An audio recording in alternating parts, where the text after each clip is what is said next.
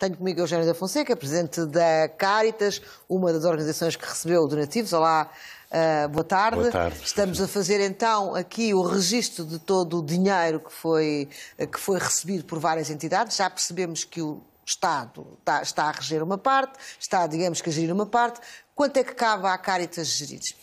A Caritas, no primeiro dia, logo, portanto, no dia 17 de junho, abriu a conta solidária que esteve aberta até 16 de julho.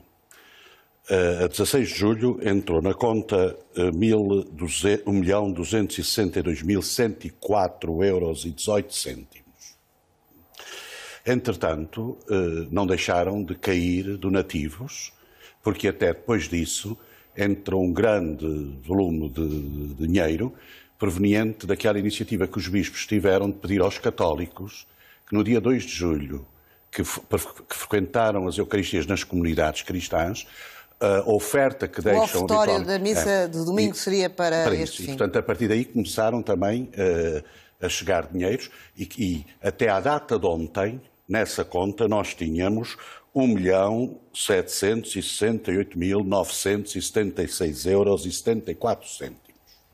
Além desta conta, a Caritas de Coimbra, como sabem, a nossa estrutura é assim, cada Caritas é autónoma, juridicamente, Caritas é apenas a, a, a, Federação das Caritas Diocesanas, portanto há uma autonomia plena, portanto abriram uma conta e essa Mas esta conta, conta é uma conta nacional. A conta é? da Caritas Portuguesa é nacional a conta da, da Caritas de Coimbra foi para uh, os problemas existentes na Diocese de Coimbra, que são estes conselhos que agora estão em questão. Uhum. E, e, à data de 1 de setembro, essa conta tinha, um, não, tinha um, deixe-me ver, para ser fiel, 478.813 euros e 13 cêntimos. Ok, à volta de meio milhão de euros, não é? Ultrapassa, a Caritas ultrapassa um milhão de euros. Ultrapassa um milhão de euros. Agora, Primeira nota. Quando abrimos a conta, porque infelizmente neste país já se interiorizou, e era por aqui que devíamos gastar o nosso tempo. Já lá vamos. Deixe-me só pegar, como falou nos números, hum. vamos só perceber uma coisa. A Caritas Portuguesa Nacional, uh, números redondos, 1 milhão e 700 mil euros. É Sim. isso que tem na conta nacional. Sim, e a de Coimbra, meio milhão de euros. Números redondos, 400, 400 e tal mil, não é? Uh, agora, este milhão e 700 mil vão para onde? Para então, todas as vítimas de todos os incêndios, só para Pedrógão Grande? Para, para, para Coimbra, para a Caritas Diocesana de Coimbra, que está a acompanhar desde a primeira hora uh, uh, Castanheira Pera, Figueiró e Pedrógão, uhum. a Caritas disponibilizou em meados de julho 1 milhão e 300 mil euros. Muito bem. A juntar a, a aos juntar... 400, que ficam 1 milhão e 700 mil, porque o Revita, o Revita, nós não pusemos lá o dinheiro do Estado. do Estado, não pusemos lá o dinheiro, mas estamos a articular com o Revita, porque fizemos um protocolo onde há compromissos da nossa parte. E foi o Revita. Para não haver sobreposição de Exato, verbas, não é? Sem dúvida. Portanto, e, portanto, as casas, as 40 casas que a Caritas de Coimbra está a trabalhar para a sua reconstrução ou construção de raiz, Portanto, são 21 de raiz e 19 de, de reconstrução pessoais, uh, parciais, foram referenciadas pelo Revita. Hum. E este 1 milhão e 700 mil é para esta construção. E a construção já está a acontecer? Neste momento já está nas construções parciais que precisam de menos uh, procedimentos, já estão a acontecer. Agora, as novas têm, acabaram agora a fase da, da elaboração dos projetos Os projetos estão a ser submetidos às famílias. Há 12 famílias que já se pronunciaram sobre os projetos, se gostam, se acham que, que, que o tamanho das, das, das divisões é, é, assim. Faz sentido. Ser... E depois as necessárias autorizações das, dos municípios, não é? Exato, pois é preciso adjudicar. E na adjudicação nós privilegiamos os construtores da região porque já há uma grande pressão económica face a esta tragédia e então é bom revalorizar a economia. Uhum. E, portanto, esses construtores têm que nos assegurar que não têm conflitos de interesses na utilização destes dinheiros, para que depois seja tudo transparente. E porquê é que queremos que sejam construtores da zona? Porque amanhã, se houver problemas de construção, há um rosto. Sabe-se que é aquele empreiteiro daquela zona porque também não queremos construir casas que venham a ter problemas mais tarde, mas queremos construir casas dignas, dignas, com ser melhores que as anteriores, de certeza, mas que tenham todas as condições de legalização, de seguros, porque agora até tínhamos casas que teve que resolver esse problema que estavam em terrenos não legais. Portanto, isto não é muito fácil, isto não é como a varinha de uma fada que se toca na casa que ardeu e de repente aparece a casa construída. Agora, temos que estar todos de acordo que quem sofreu esta tragédia está numa ansiedade enorme para revoltar à sua casa. Isso é mais que legítimo. Por isso temos todos que nos organizar e não perder tempo noutras coisas para que rapidamente aconteça a, a entrega das casas às pessoas. Mas uh, admite que há, há, há, tantas entidades que abriram contas que é importante fazer aqui uma contabilidade, perceber onde é que as coisas o Estado, estão. O Estado. E, uh, e há acusações. Não, e há acusações uh, com, dando a cara, com presidentes de Câmara, a acusarem ou a suspeitarem não. de, de, acusa... de não utilização Aí é que está. A suspeição deve ter sempre por base um fundamento. Se não tem um fundamento consolidado, evite-se a suspeição. Se tem um fundamento, diga-se quem é. Porque quando suspeita, entramos todos na suspeição. Isso não é bom. E, não, e vai ser muito, muito, muito prejudicial para que se, na fatídica abertura dos incêndios do próximo ano, voltarmos a ter uma tragédia disso, porque quando se fecharem os holofotes eu quero ver, e quando passar o dia 1 de outubro eu quero ver quem é está interessado no terreno nisto tudo, é que devemos refletir o que é isto da, da, da, da abertura dos incêndios, porque se houver tragédias, eu duvido se o povo irá ser tão generoso como foi agora. Porque se estão a dizer ao povo que é preciso cuidar que isto anda para aqui um conjunto de gente a aproveitar-se tudo isto. Por amor de Deus, o Estado tem mecanismos de fiscalização. Estas contas foram abertas pelo Ministério da Administração Interna, abertas por nós com a aprovação do Ministério da Administração Interna. O Ministério da Administração Interna pode ir aos bancos saber o que é que está, quem está a movimentar as contas. Nós somos obrigados, quando fecha a campanha, de publicar nos jornais nacionais o resultado da campanha. Depois, é preciso que vós, comunicação social, quando forem entregar as casas, apareçam Vão lá ver, as pessoas que digam, não, sei, não há relatórios. Os relatórios trimestrais são muito bons, mas eu escrevo lá o que quiser. Vão falar com as pessoas. Tenho uma peça já a ah, mas, sobre isso. Só lhe gostava de dizer isso. Só gostava de dizer isso. E aqueles que abriram contas à revelia da, da, da legislação, tem, temos as polícias. Vão lá. Se, se, se alguém sabe que existem estas contas, que digam onde elas estão, e aí já é o Poder Judicial a agir. Porque a, a suspeição este país, oh, Alberta, nós fomos o primeiro, dos primeiros países do mundo a acabar com a pena de morte. Mas olha, com estas coisas das suspeições, há muita gente aí morta socialmente que foi condenada à morte por suspeições que nunca se vieram confirmar. Não refiro só a isto, refiro à sociedade geral. Devemos educar-nos para sermos mais uh, uh, éticos no tratamento destas coisas. E, por favor, o Sr. Presidente da República já o disse. Eu ia dizer-lhe uma Já disse. O Presidente da República já o disse. Disse que até às eleições tenhamos cuidado do aproveitamento político. Eu digo mais. Não, fazer política, para a política, não, não, não serve tudo. E muito menos aproveitarmos as desgraças das pessoas para fazer política partidária. Acha que é isso que está a acontecer nesta altura? Eu não sei o que acho, já estou ouvindo vozes a dizer isso mesmo. Eu pergunto, a Caritas desde 2003 que anda nesta, uh, nesta ação de reconstruir casas.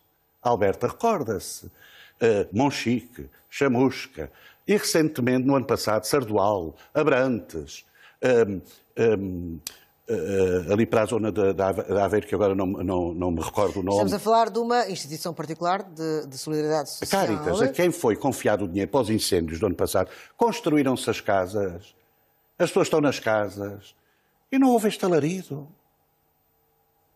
E fomos lá, só, realmente lamento que às vezes a comunicação social pois não está lá para mostrar a, a, entrega das casas. E o povo tem o direito de saber o que é que se faz ao dinheiro. Tem, sim, A grande senhora. questão tem a ver com o facto de existirem vários eh, fundos, não sabemos sequer quantos, não é? Existe o Revita, existe a Caritas, existe a Santa Casa da Misericórdia, as várias todo Santas que é legal, que também Todo o que é legal sabe-se, porque está registado no Ministério da Administração Interna.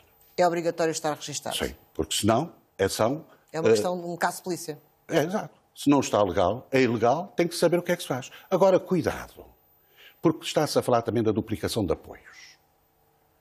Porque nós, portugueses, somos extraordinários na solidariedade, mas falta-nos uma certa cultura da solidariedade. Porque imagine, houve famílias que pegaram nos seus donativos, bateram à porta das pessoas porque quiseram elas próprias entregar em mão. Entregar em mão. Sabe lá está a falta de confiança sabe, nas instituições. Sabe, instituições. Sabe-se lá, sabe ao governo que agora vai entregar os tais mil euros se a pessoa já recebeu por um particular. Não pode saber. Porque esse particular não foi dizer à Segurança Social, eu já lá deixei um envelope com com X dinheiro. Portanto, são estas coisas que não há coordenação que resista. Porque é do impulso emocional das pessoas. Há, há um, um, imigrante que num país qualquer tem familiares em Pedrógão, organizou uma festa e entregou a uma organização da, da própria zona. É esse, são esses que têm que pedir contas a quem entregou. Vamos lá ver, o que é que fizeram ao meu dinheiro? Porque o Estado não consegue acompanhar isto tudo. Agora, outra coisa é se alguém sabe que destes dinheiros estão, uh, estão a ser utilizados para outros fins, é caso de polícia. E quem sabe só tem o, o, o, o dever, para não ser cúmplice, de denunciar isso. Denunciar nos sítios certos. Está satisfeito com a forma como o dinheiro está a ser aplicado e, uh, não e estou, com a. Não estou. Não? Porque gostava de maior celeridade. Era isso que eu lhe ia perguntar. Gostava de maior Porquê que não há maior celeridade? Não há porque há, todo, há todos há processos. Porque, olha, temos que saudar os arquitetos, os engenheiros, não camarários, porque as, os, os, que existiam não chegavam para tantos projetos. São 200 casas. E que se ofereceram voluntariamente para fazer projetos. Mas depois têm que ser validados pela Câmara porque há ordenamentos de territórios, há localizações. Como digo, houve terrenos que tiveram de ser legalizados. Depois, há casas que estão atribuídas a inquilinos, mas há senhorios que têm que decidir. E depois há senhorios que podem ter poder económico, mas já não estão interessados na reconstrução Portanto, gostava há... que fosse mais célere, mas reconhece que é impossível que seja. Agora, é isso? É. E, é, é Questões burocráticas. Até agora, até agora, ainda não me parece, no caso das casas, porque depois nos apoios aos agricultores e tudo isso é outra coisa, porque já se mete a União Europeia. Até agora, eu não sei, eu não sei se, uh, uh, uh, se está a haver essa burocracia tão exigente. Não tenho a noção que exista. Agora, no dia que existir, garanto-lhe, só temos uma hipótese. É fazer as casas clandestinamente e metê-las lá dentro. É isso que queremos? É isso que queremos? É isso que é a educação depois cívica para as pessoas? Apostarmos na ilegalidade? Não, gostava. Agora, está, não... está, a lançar o desafio, portanto, às câmaras envolvidas, às câmaras Sim, municipais e, envolvidas. E, temos que haver. E depois ninguém se pode pôr em bicos de pés. Eh, isto, somos poucos demais. Há muita organização a doar. Mas depois no terreno. Eu só quero saber, depois das casas construídas, quem é que fica para acompanhar as pessoas. Porque estas pessoas têm chagas na, na alma, porque lhes morreram familiares, porque foi perdida muita recordação em fotografias, perderam tudo. Isto são marcas que precisam depois, de, porque dar só a casa é muito importante, mas depois é preciso. E a Caritas estará no terreno nessa altura? Tem lá as paróquias, tem lá os grupos. É que não fomos lá só para, para, para isto. Estamos lá e queremos lá ficar neste apoio. Porque quando se diz não chegou o dinheiro a, a não está a chegar, a, Car a Caritas de Coimbra a Caritas de Coimbra, eh, até agora, recebeu 55.741 produtos para doar. E com estes produtos já satisfez 13.644 pessoas. Isto foi feito ao longo destes três meses. Todas as semanas se à porta das pessoas com, com germes alimentares. Foi preciso limpar as casas que não arderam, mas ficaram cheias de fumo. Foi preciso dar-lhes produtos de higiene. E, portanto, houve no terreno, houve no... Eu não sei a quem é que interessa esta polémica que se está a levantar. À coesão da sociedade civil não interessa nada. Ao fortalecimento da solidariedade, muito menos.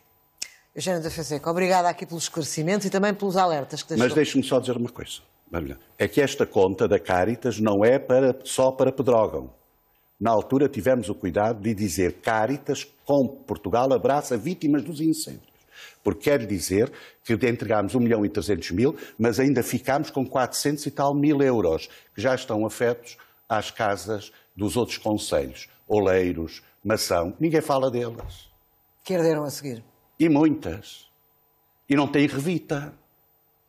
E nós temos já um compromisso para com eles de 562.761 euros e 65 cêntimos para reconstruir mais de 20 casas lá. Portanto, todo o dinheiro recebido a partir de, 18, de 16 de julho, se não estou em erro, a partir daí é para todos as vítimas de, incêndios. É para todos, mas o maior fatia até foi para Pedrógão.